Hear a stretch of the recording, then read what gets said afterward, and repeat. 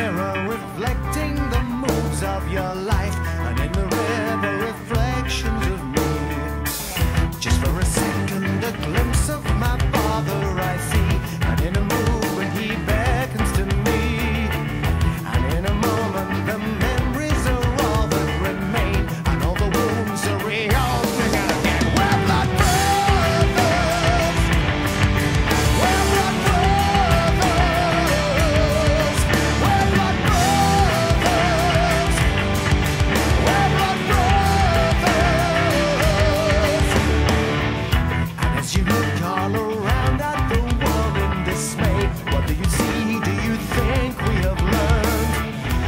If you're taking a look at